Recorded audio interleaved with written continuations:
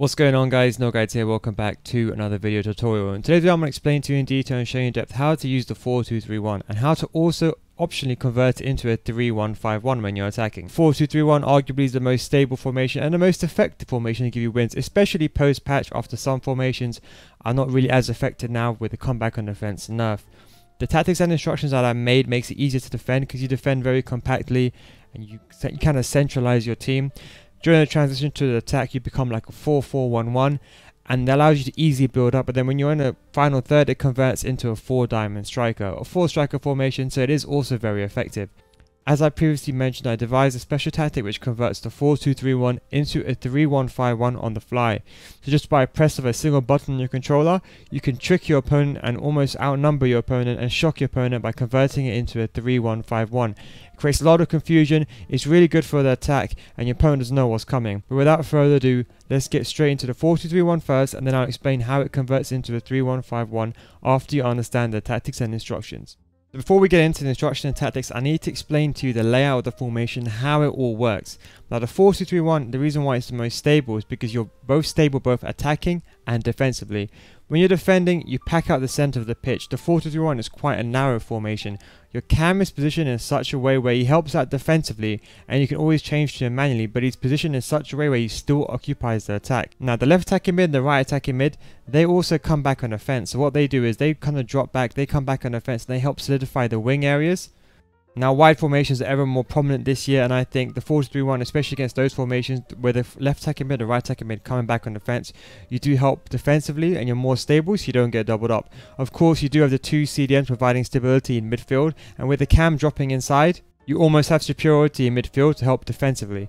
But when you transition to attack it's almost like a 4-4-1-1. Now the cam who's on stay forward he acts as the link up player so this is how it turns into like a 4-4-1-1 when you're kind of building up your left attacking mid, your right attacking mid, they dart forward. Um, they're very good for counter attack type runs to exploit the wing areas. And what happens, it then turns into a four striker formation, almost like a wide diamond. So your left attacking mid and right attacking mid, they fly forward, and so does your cam, and so does your striker. So it ends up becoming a wide diamond in some respect. You have your striker, the left attacking mid and right attacking mid end up becoming like wingers, and then your cams on stay forward ends up becoming like a centre forward or a second striker. So very good for the quick one twos. Now if you think about it, if you're in behind your opponent's CDM, you basically have a 4 striker formation up against your opponent's 4 defenders.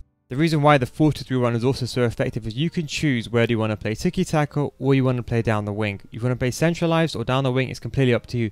Just because the way the players are laid out, you can go either centrally or you can go down the wing. It's very versatile. The striker and the three cams are linked up in such a way that they're very good for close tiki-taka formations, but it's also very effective for wide formation. In a 4-2-3-1, you do have what I like to call the butterfly wings or the wide triangles. It's a link-up play between the wide cams, the CDMs and the fullbacks. A quick 1-2 between these two players can help you get in behind.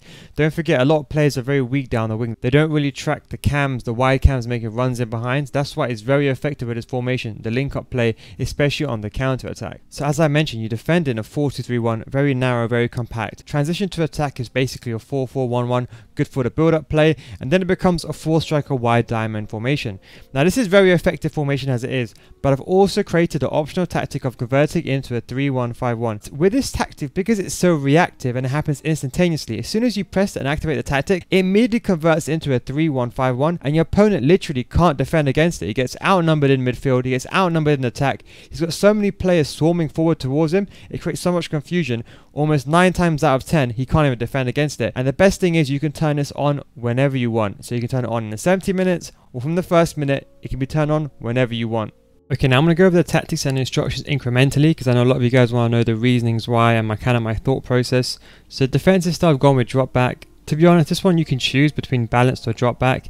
If you're not that good defensively and you're used to using drop back, I'd recommend using drop back. Uh, I think this formation works very well with drop back and I think those are not comfortable with defending I think it's a very stable formation to even close out the game. As I said, this is a formation you can use for all times, uh, in all times of the game, should I say. A width, I've gone with a width of 6. Um, the sole reason is I just kind of want my left attacking mid, my right attacking mid to occupy the wider areas. I think against the 4-4-2s and uh, you know the 4-2-3-1 second variations, the wider formations, I think defensively you just you're just a bit more stable as can the wide cams occupy those areas. You're already stable with this formation in the middle. You have the two CDMs and you have the cams coming back and you have the center cam coming back as well. So you kind of already stable in the middle.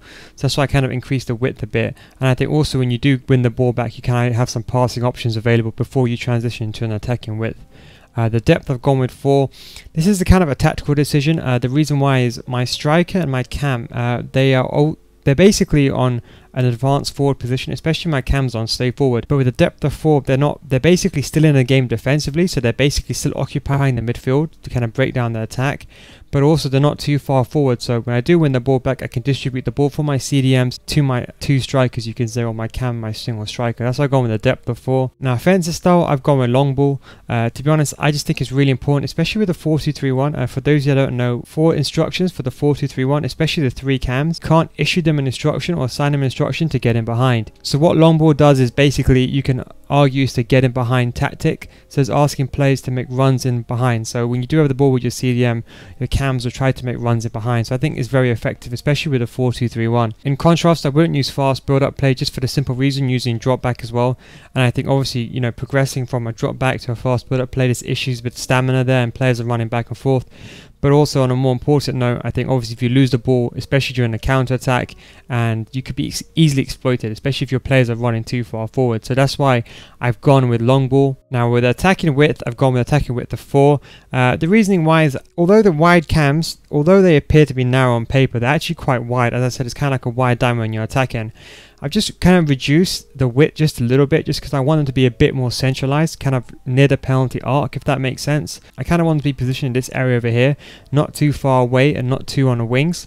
And this kind of ties into when I, when this formation changes into an th optional 3-1-5-1. Um, there's a reason why the depth's on 4, but I'll explain that later on. With players in the box, I've gone with six. To be honest, you can reduce this if you want to. Um, I just think six is a good balance when you do get into a crossing situation um, because you're playing a 4-2-3-1. Of course, you have the, the two CDMs outside the box anyway uh, for support because they're on stay back while attack. I'll get onto that in a second. But if you do increases, there is obviously a chance that sometimes you're too many players to commit too forward. So I think six kind of gives you the appropriate balance. And for the corners and free kicks, you can change it to however you deem is appropriate. However, what I would say is just do bear in mind, as usual, if you commit this too high, you know, you're going to be susceptible to the counter attack. So just do bear that in mind. Okay, now going over to the instructions now. Um, we've gone over the tactics. Now you understand the base core of how the team kind of works. I'm going to go over the instructions now. This is what makes and breaks the formation. We're going to start with the striker, have him on stay central and come back on offense. The reason he's on stay central is I just think you kind of want the link up play between the striker and the cam. And you always want this player to be centralized. So that's why I have him on stay central. I don't have him on getting behind because you have the long ball tactic already on. And I think especially against park to bus formations, uh, sometimes you kind of don't want your players to always be running, making to look at running behind behind. Sometimes you want us to sit like as a target man sometimes depending on situation. So I left this person on balance. I do have him come back on defense. Do not worry, he doesn't really come back on defense. And obviously after the patch, strikers don't come back on defense anymore. What this means that he's just positioned a bit more naturally in a more reserved position. So he's not too far forward. He's just before the halfway line. That's why he's on comeback on defense. And the reason why he's on comeback on defense as well, let's say for example a cam, uh, your right attacking mid, let's say he goes all the way forward and he's out of position. Then, for example, your striker can come back and drop back and kind of fill that void. Now moving on uh, to the center cam, the central cam is on stay forward. Now this is what's integral, the central cam is on stay forward. So he's going to act like a center forward most of the time. This is kind of what makes it become a 4-4-1-1 uh, when you're building up because this player is just behind your striker. He's obviously a link-up player. A very good player like Neymar will obviously be very efficient and will probably be the best, be prolific in this role. So that's why the cam's on stay forward. Now going for the wide cams, you have both of them on comeback on offense. As I said, uh, the reason why is you want to get doubled up against 4-4-2, so they, I want them to come back defensively, just so they're a bit more stable. So defensively they'll come back and it'll help. But this also means when they're attacking, they're going to be running from deep positions. So this is really good, integral when you're going against your opponents, especially on a counter attack. So when you do get the ball, you can always look to make these passes to these players that are running from deep into a striking position. Now moving over to my two CDMs, um, for both CDMs you both have them on cover, cut passing lanes and cover center. Obviously you want them to cover the center, you don't need to put them on, the biggest mistake I see people see is cover the wing. Because your left attacking mid, the right attacking mid, they're coming back on defense, so you don't need to actually cover the wing because they're going to cover the wing for you. Now I have them both on cover center, so obviously against the 4-1-2-1-2, 4-2-3-1, they kind of stay in a central position, obviously defend the middle. Have them both on cut passing lanes, I think is probably very effective this year. Um, one of the CDMs I have on stay back while attacking, and one of them I've dropped between defenders. So this kind of creates a situation where one CDM just sits a bit back and the other just a bit more forward. Um, I'll get more into this more later on, but this kind of helps you build bring the ball from, I suppose you can say, the defensive defensive line to the attacking line. So they're not completely in line. They of like just separate apart. It's good for build-up play. Now the left back and the right back, um, I have them both on stay back while attacking, so they're just going to stay put. They're never going to go forward. Um, but I do have the run types on overlap. Now overlap, don't forget, overlap doesn't mean they're going to run forward. It just means that if they do run forward, they're going to make overlapping runs. You can of course turn this inverted, but I wouldn't recommend that because that means they're going to run on the inside. And when they run on the inside, what happens is most of the time is that your wide cam gets positioned and pushed outwards.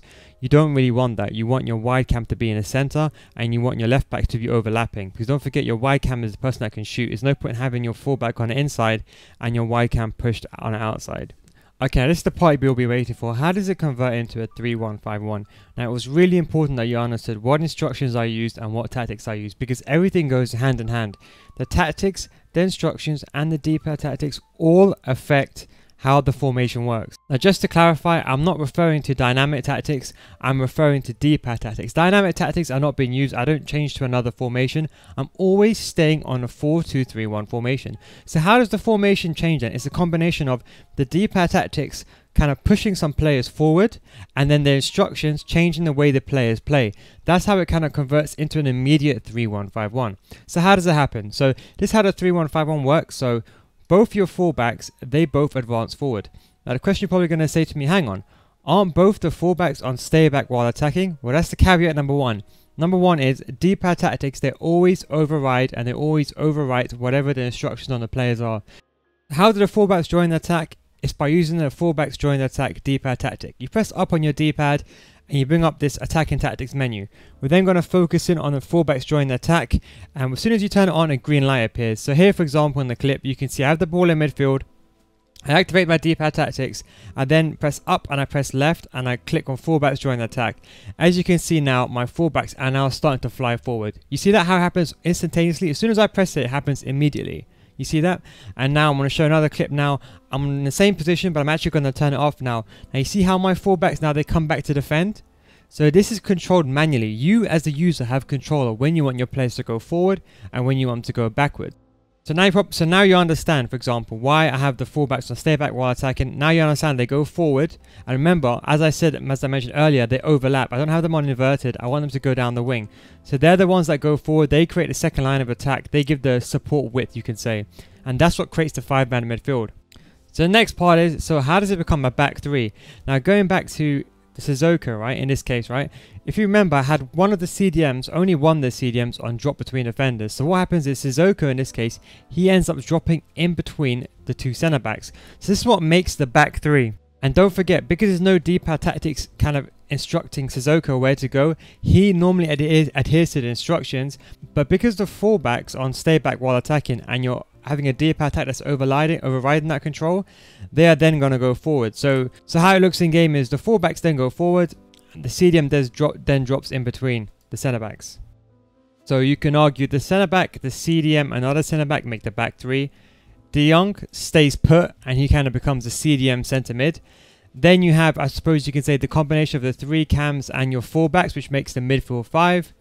And then you have the singular striker, hence the 3-1-5-1. It's almost like a watered down 2-7-2 of Thiago Motta's formation. Now what you need to understand is if, for example, you leave the D-pad tactic on fullbacks during the attack, they're going to keep joining the attack until you lose the ball. When you lose the ball, it still comes back and defends into a 4-2-3-1. It's only when you're attacking, they fly forward. So let's say, this is the point of this formation. So let's say, for example, in the game, you're down 2-1 and you need to score a goal, then you would activate the D-pad tactics fullbacks during the attack to give you the 3-1-5-1 effect. But when you still lose the ball, they still come back and defend. And that's why I also have Mbappe on comeback on defense. So Mbappe, if a player is caught out of position, Mbappe still comes back in defense. So he kind of covers for someone else. So it's very intricate how it works. It took me a very long time to devise this. And that's why it's very complicated for you to understand. What I may have to do is I may have to do a follow-up video on how it works. But here you can see, for example, a clip. Um, I'm playing normally, and the trick my opponent activate the D-pad tactic. The fullbacks fly forward. He doesn't know what's coming. Sissoko then drops into a defensive role, and then I'm ready for the attack. As you can see, I have so many attacking options. I have Mbappe as my core main striker. I kind of have my Cam as a centre forward. Then I have my Lam and my Ram kind of on the on the wide areas. And then I have my left back and right backs providing width and distracting the defenders. I then have De Jong in the middle who's you can argue controlling the midfield, a singular CDM, and then I have three at the back. So that's how it converts from a 4-2-3-1 into a 3-1-5-1. Now, in terms of the team, you probably saw this team and you're thinking this is probably the most unorthodox team you've ever seen in your life. And the reason why is I like to have fun. So I'm going to explain to you what players you can use because I know if you're watching at this part of the video, you're actually really interested in using the formation and you want to see what players I'm using. I'm actually using wingers in that position. Now, the only person I have is Candreva. Candreva gets subbed off for Martinez um, in the first minute. The only reason why Candreva is on is just for chemistry purposes, obviously. So that's that's the reason why Politano gets full chemistry is because Candreva's on. So what it is, is that I start on a 3-4-3. In game, I then change to a 4-2-3-1. And what happens is that my main striker, now for your striker, you can choose any player. I would say a marksman striker is good, someone that's good at dribbling. Remember, this is going to be your clinical player. This guy's always going to be on the forward position. This guy's always going to be attacking. So you want a clinical striker like Mbappe, like Ronaldo, etc, etc. Now moving to the cam. Now the central cam is on stay 4 most of the time. Someone like Neymar is very effective. You kind of want to play that's a good build-up player. Someone like Neymar, someone like Messi. They're going to be on stay 4 most of the time. But because you have a depth of four, they're still going to be positioned in a way where they can still help defensively and they can still help with their counter attack. So this player, you can get someone like Messi or someone like Ben They're very effective in this position. Now for the LAM and the Ram, what you want here is pace players. Now, I know these are cams, but you can't have someone, for example, like De Bruyne. Someone like De Bruyne is too slow. Remember, these guys are going to be running back and forward. Remember, Dembele and Candreva in this instance, right? They're both on comeback on offense, right? So they're going to run back and forth. You need someone who's got good stamina or decent stamina and has got a very good pace. These players act more as wingers than cams. That's why someone like De Bruyne, someone like Eriksen is not really good. You want high pace players in this position. Remember, even if it doesn't convert into a 3-1-5-1, they're still going to act as left wingers and right wingers. That's just the way the 4-2-3-1 works. The cam is then a second striker, so you still want at least somewhat fast players. If you can get strikers or wingers in this position, that's what would be ideal. Now for now for the CDM, now as I said, one of the CDMs drops in between the defenders. So one of the CDMs is going to become a centre back. So someone like Kante, someone like Allen, someone who's a defensive player in DD, some of these players that are defensive that can play in CDM and also play in centre back are a very good choice. In this case, I have Sissoko. The reason why I use Sissoko, because if you just go and look at his stats right now, so as you can see, I've got a shadow on Sissoko. As you can see, he's got decent pace. I wouldn't recommend someone than lower than 75 pace. I have a shadow on the player, and as I see, as you can see, even if he does play in a centre back role, he's got the stand tackling, he's got the slide tackling, so he can play in that position. So that's why I have Sissoko as a CDM that drops in between the defenders. Now the second centre mid, this is the person that's going to stay forward. Remember how I said, for example, one the CDMs drops in between? This centre mid is going to stay forward. Now ideally you want someone who's box to box here. You can have someone defensively. I have De Jong, he works quite well. But you can have Allen here, you can have De Jong here. You can have someone like Fabinho here. You can even have someone like Firmino. The key is this person has to be good on the ball. They can distribute the ball, they can pass the ball. Because don't forget, when your player's are going to be running forward, sometimes there might not be a close passing option available. So this is the person who's going to make a through ball either to the wings or pass to one of the strikers. So you want a good passer here.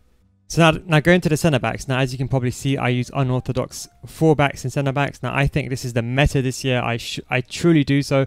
I use a full back centre backs on all my account. Now, even a full back on seven chemistry. Now, let me, now let's. Now, I know many of you guys are going to be like, "What?" Let me ask you a question. Would you rather have Cancelo on seven chemistry, or would you rather someone like Gomez, Joe Gomez, on ten chemistry?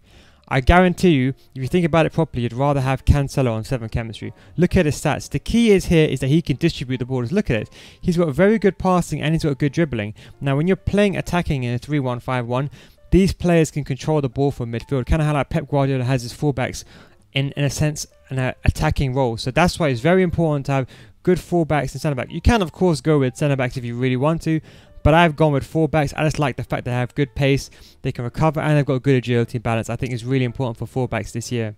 Now for the left back and right back, now you can play traditional as I said, you can play traditional centre backs and you can play traditional fullbacks. The problem is when you convert to a 3 1 5 1, when these players go forward, they're going to now basically play as wingers. So I choose to play wingers and fullbacks just because it's a bit of fun, but you can choose anyone you want. The reason why I have wingers and fullbacks again, because Adama Traore is going to fly forward, and so is Martial. So I kind of want them to be wide wingers, and that's why I have wingers in that position. So, th so that's the way I play it. Now, for me, I play the 4-3-1 normally in game, and let's say for example, I use this for the entire game, but let's say for example I'm struggling against an opponent, maybe I'm 2-1 down, then I switch to the 3-1-5-1 tactic. You see what I'm saying? And I use it intermittently. I use it intricately, so I might use it for a couple of minutes in game to surprise my opponent, then I'll turn it off. You see what I'm saying? Now, in terms of the work rates, the work rates don't mean anything. Don't forget, the striker, the work rates is not that important. Even though he's on comeback on defense, because of the way the patch works, he's still going to be on stay forward. The game is going to push him to stay on forward.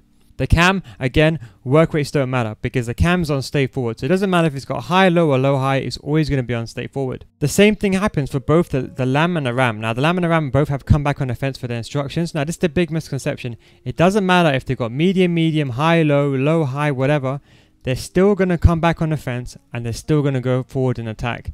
So it doesn't matter what the LAM and the RAM work rates are either.